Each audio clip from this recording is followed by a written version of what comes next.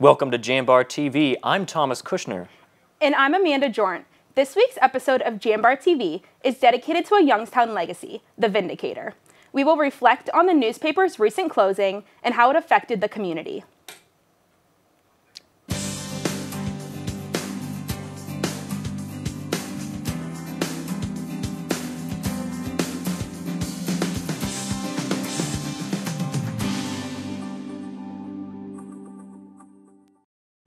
On June 28th, Youngstown's only daily newspaper, The Vindicator, announced they would cease publication after 150 years. The final edition of the paper was published on August 31st. Known for its progressive reporting on Valley corrupt officials, the Mafia, and the KKK, The Vindicator launched in 1869 and in 1887, William F. Maag, Sr. purchased the paper's nameplate. The family remained in the newsroom for four generations and closed under publisher Betty H. Brown Jagnow and General, Mar General Manager Mark Brown. Although a decrease in advertisement revenue ultimately led to the paper's close, the Vindicator's impact in Youngstown is etched in stone. Jambar executive producer Alyssa Weston caught up with two former Vindicator editors to reflect on their reaction to the newspaper's closing and reminisce on their favorite memory while working in the newsroom. The Vindicator published its last edition on August 31st, 2019. The city lost its voice and 140 employees lost their jobs. Mark Sweetwood, former managing editor of The Vindicator, tells Jambar TV he tasked reporters with ensuring the newspaper's final stories would be memorable. We're going to give this thing a Viking funeral.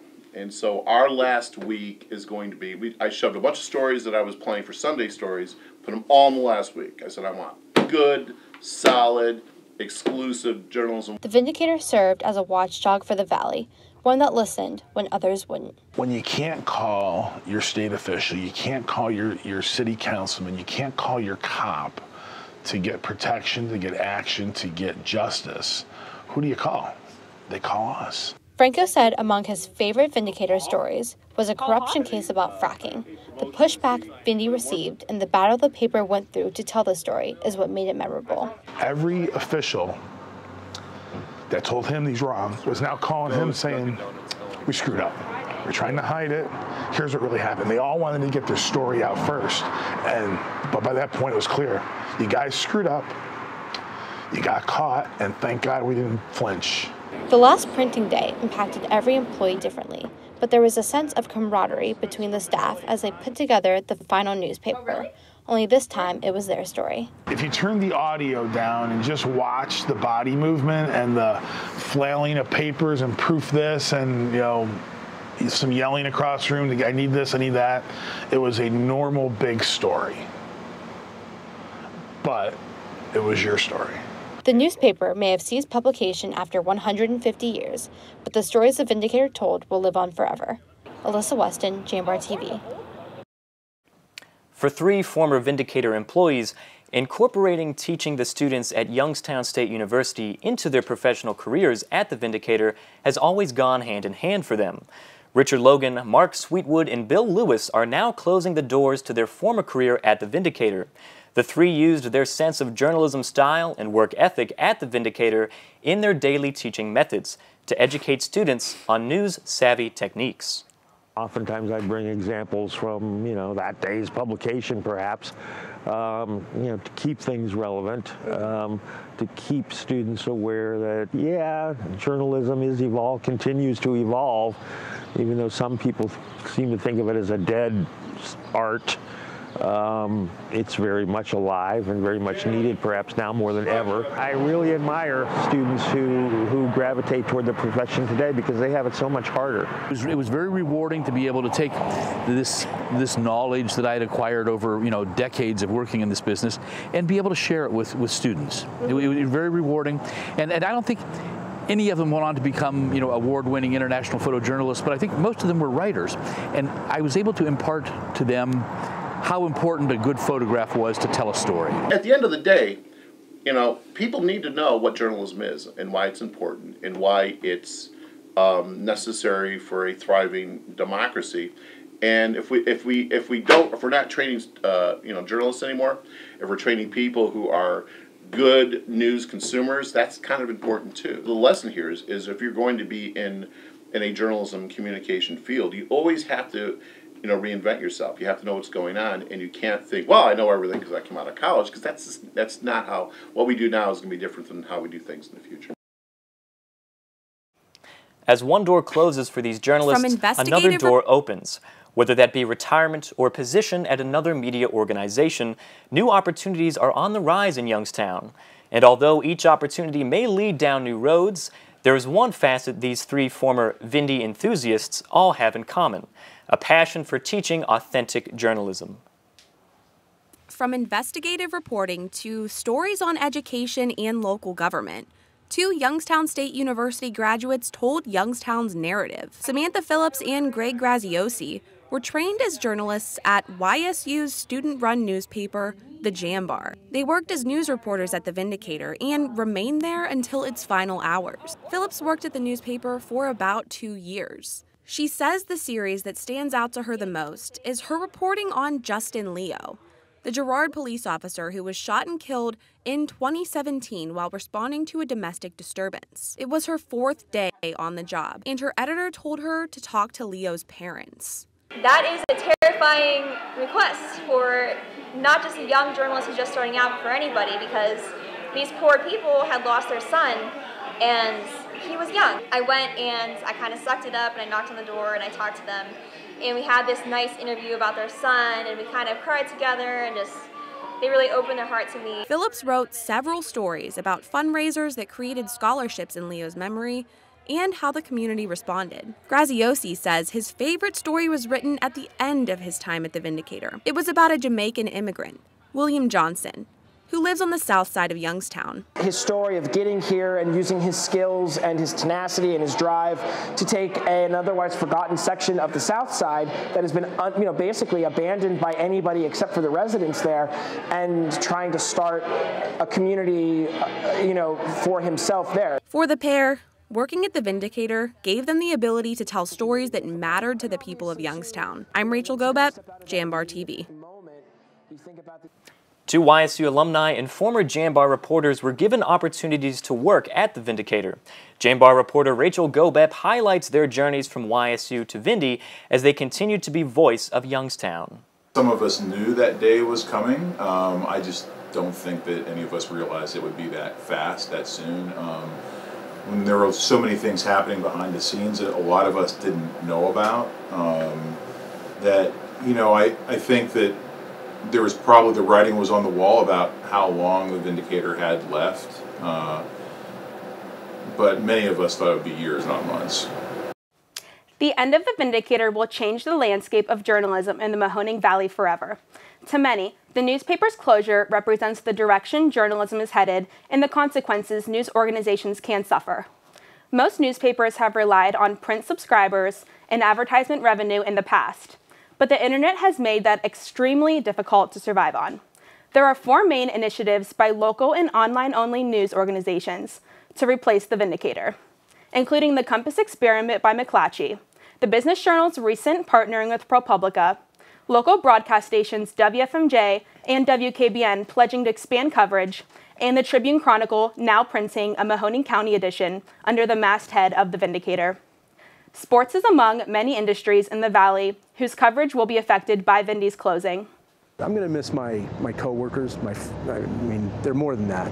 You know, uh, you know, we're we're friends and colleagues and, and family, really. Uh, it's, a, it's a situation where, you know, we almost spend more time with each other than we do with our families. The outpouring of support from the community has been overwhelming. So many people from outside the building that we've covered, that we've worked with, um, have reached out to us uh, and to me and, and just, you know, told us how much they appreciate what we did.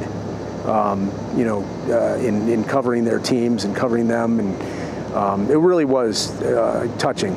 Going forward, Ed is unsure what the future of sports media is, but he's hopeful that the new staff of the reborn Vindicator handles the market with care. My hope is that is that you know the, the people that are taking the baton from us, um, first that they appreciate that they're now they've now been entrusted with covering what I consider the best sports town for its size anywhere.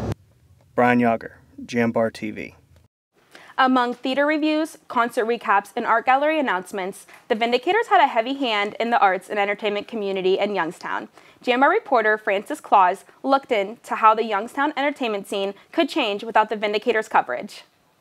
When I started at the Vindicator, everything changed in terms of entertainment because Covelli Center opened in the fall of 2005, the Ford Family Recital Hall opened, and things got real busy. Um, and you know, before that, Youngstown was had nowhere near the, the amount of entertainment that it does today. The effects of the Vindicator closing were felt by the Rust Belt Theater Company, who have had the support of the newspaper from their opening in June 2010 to the promotion of their most recent musical, Franken Fabulous, this past August. I worked at the Oakland Center for the Arts for about 12 years downtown um, before I started the Rust Belt Theater Company. And um, my relationship with Guy D'Astolfo, the entertainment edit- editor of The Vindicator, started there. Um, he was always very good about um, uh, giving us publicity for the different events that we would do. And then when I uh, started this company, he kind of followed me here, and he's honestly been one of our biggest cheerleaders. As D'Astolfo continues his entertainment journey at the Business Journal, he remains with a positive outlook on outlets coming to the scene to cover entertainment and fill the void of the Vindicator. I, I think that the entertainment scene in this area is going to continue to grow. Like, for example, this amphitheater is absolutely the, to me, it's the best thing we have. Um, next, probably next spring, the Robins Theater is going to open in Warren. And it's, you know, whoever goes into it, there's, there's going to be a lot to do, a of cover. So, yeah, looking forward to it.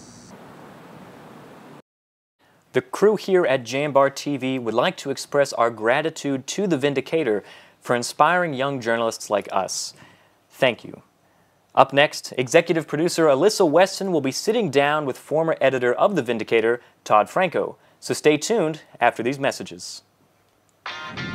Indianapolis, the heart of hoops hysteria. And beginning in March, the home of the Horizon League men's and women's basketball championships.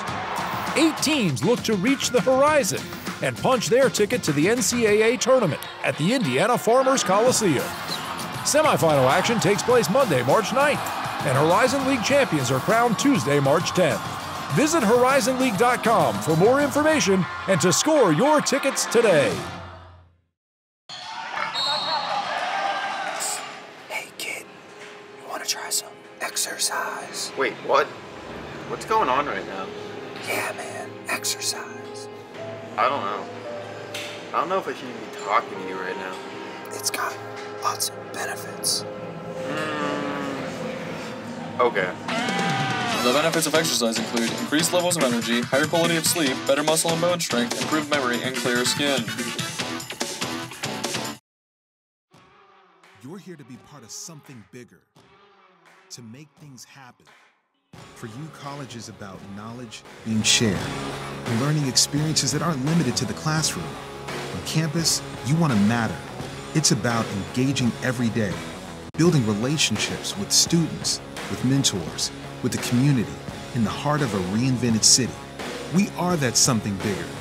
We are Youngstown State University and proud. You're not waiting to see what the world has in store for you. It's more about what you have in store for the world. All you need is the opportunity.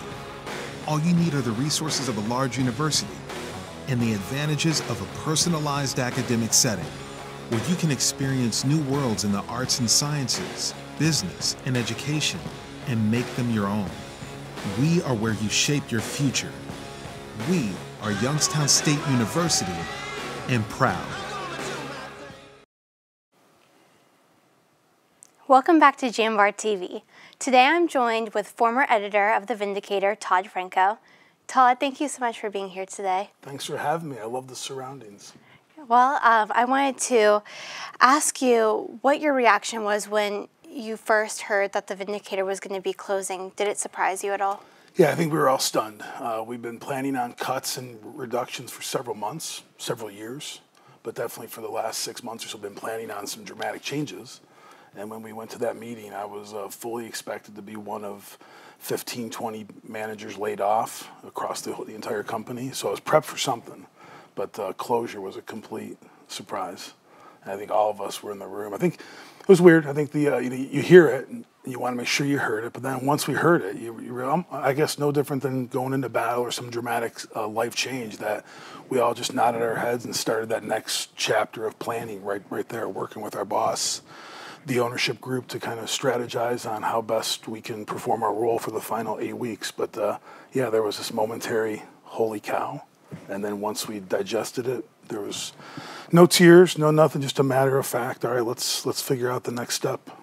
I know you said that what you thought was going to be the funeral for about 15 of you soon became a funeral for the whole community. Correct. That was a crazy, um, crazy four or five days. Uh, um, re- kind of rewarding to a degree because you know the you know you don't get to live through your funeral so to speak. So you get to hear all these compliments and the impact that you had on people's lives. So yes we walked in there thinking it was going to be 20 of us who were having our professional funeral and then when you realize the whole community reacted the way they did i shouldn't say the whole but just an outpouring of um, stunned feelings regret what could have, should have gone on, all those kind of things. But then also uh, just this wave of my favorite part was this. Um, you know, the the paper boy. Everyone's got a paper boy story. It seems so. We got a lot of paper boy stories. So kept a lot of kept a lot of the letters, kept a lot of the emails. So it was it was unique and some. And somewhat, I think, soothing as we're going through this as a newsroom to recognize that there was a, there was a community that was impacted by this as well. Well, there's a few local media sources who have offered to kind of step in and fill the gaps of what the mm-hmm. Vindicator will leave behind.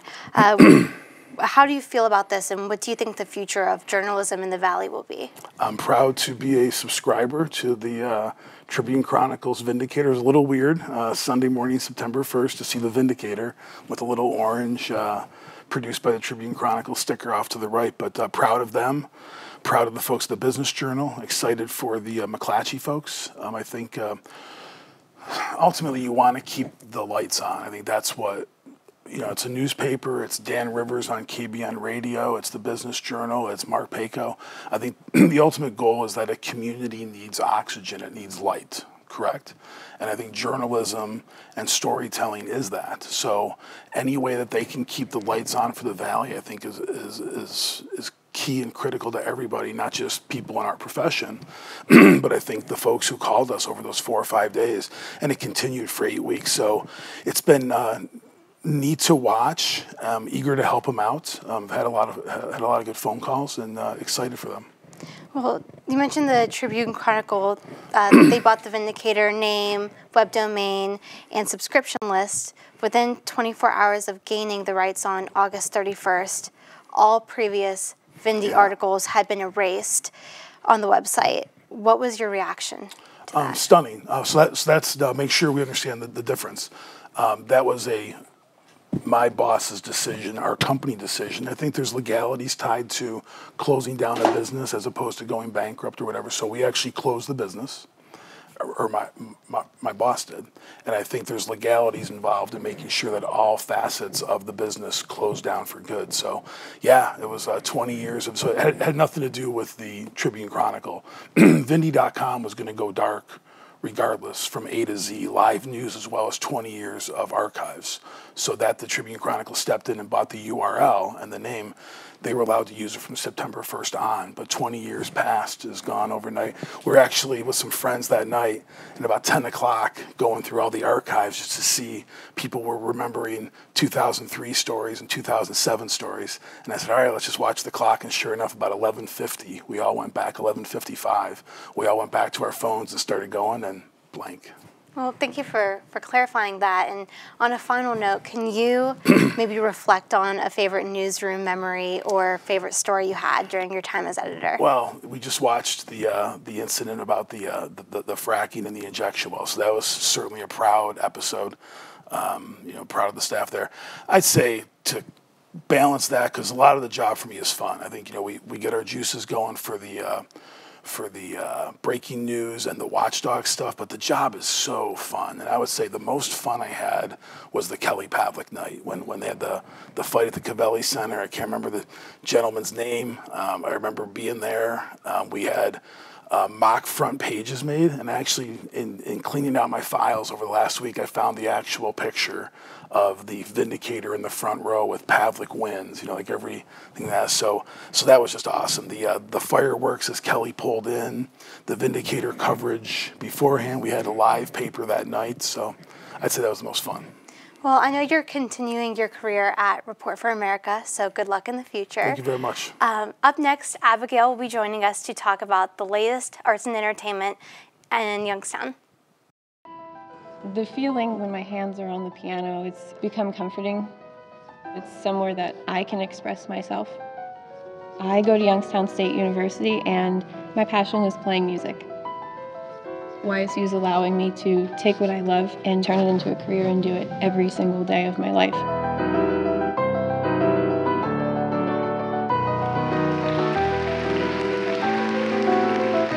I'm Alyssa and I'm YN proud. Growing up, I love figuring out how things work, putting things together. I love being able to come up with an idea, design it, just the whole process of creating things. I go to school here at Youngstown State and my passion is 3D design. I chose YSU because all the equipment, the research being done here, it's like a playground for me. I'm Alex and I'm YN proud. Hey Gwens, welcome to Student Activities Minute. My name is Sarah and I'm a member of Penguin Productions, which is a student programming board here at YSU. This week we've got three very exciting things going on. Penguin Productions is so excited to invite you to our first event of the semester. We're kicking off our concert series next Thursday, September 12th, with Emily Rio, a Brooklyn-based pop artist, and with local act Grief Shark. It's going to be a great night. There's going to be snacks. Doors open at 8, music at 8.15. I'll see you there. Two days after the concert, on Saturday, September 14th, is YSU Family Day. If you're interested in bringing your family out to enjoy the campus and experience YSU with you, Stop by the Student Activities office for details and pick up your event calendar while you're there. Lastly, if you haven't heard, on September 21st, Y Live is having Blake Shelton right on campus at Stan Stadium. It's going to be a great night, and I'll see you there.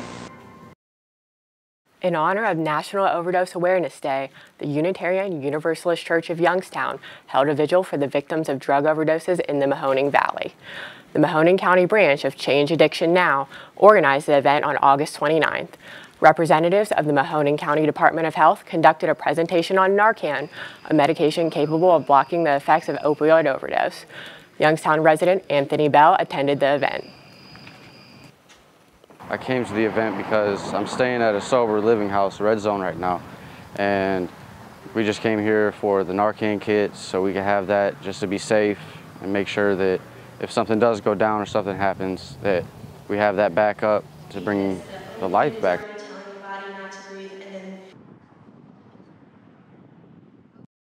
The event also featured Bishop jo Joseph McNeil and other speakers who shared their stories.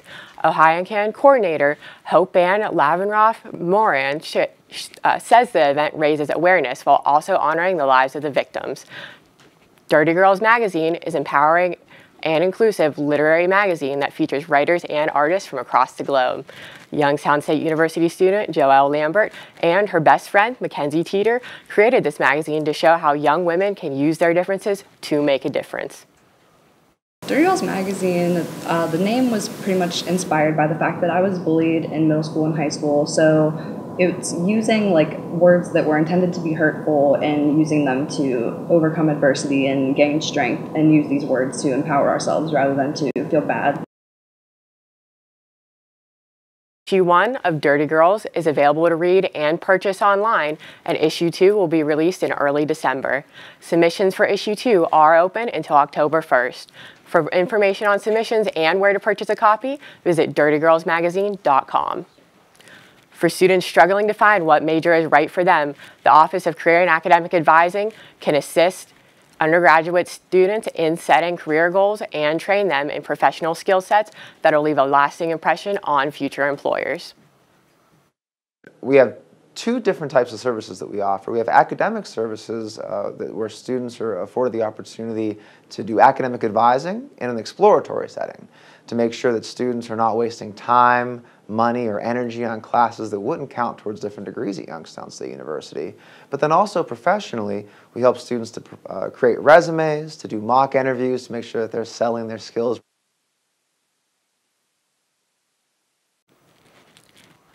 Advisors in the Office of Career and Academic Advising are available to help students answer questions Monday through Thursday from 9 a.m. to 4 p.m. in Jones Hall, room 2002. After the commercial, Dom and Brandon will give us our weekly update on the sports. Stay tuned. It's always out there. The horizon. A reminder that our greatest goals are rarely attained. And as soon as you reach one, another emerges. But every day we rise and work harder, dig deeper, ask one more question, take one more shot in relentless pursuit of our horizon. Founded in 1985, the Missouri Valley Football Conference has established a tradition of FCS football excellence. Competing at the highest level of NCAA Division I, student athletes at its 10 institutions demonstrate character, passion, and integrity as they grow as a student, an athlete, and a citizen.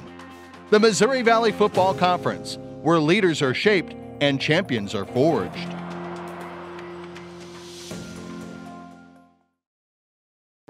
The environment in the hospital can be very intense for a patient. Being able to put a smile on their face brightens up my day.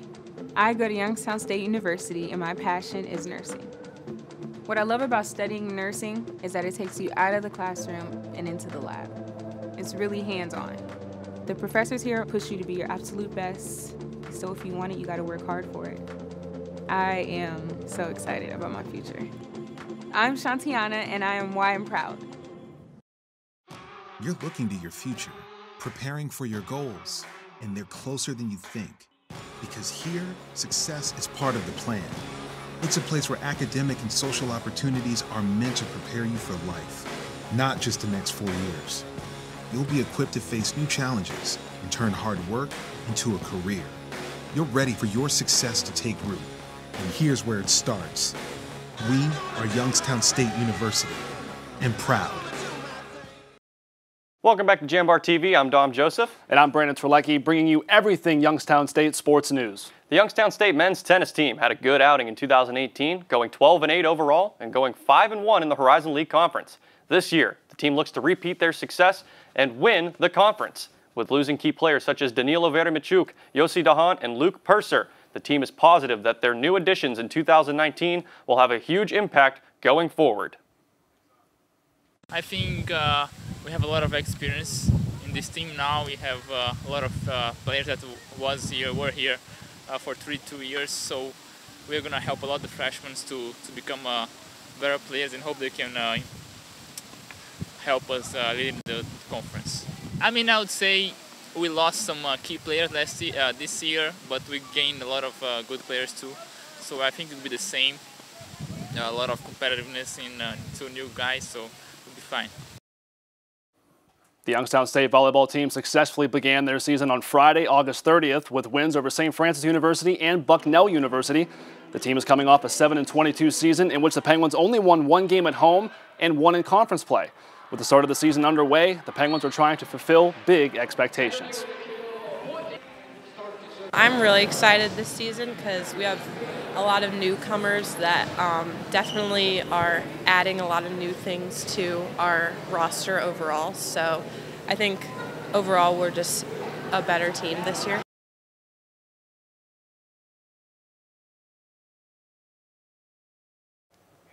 Thank you, Dom and Brandon, for those sports updates.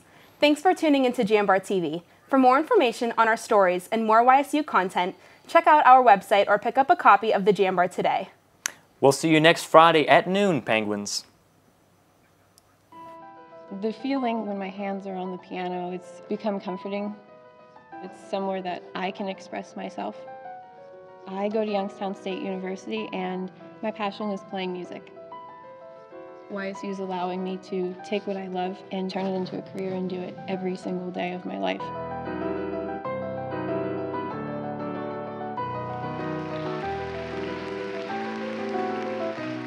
Alyssa, and I'm Y and proud.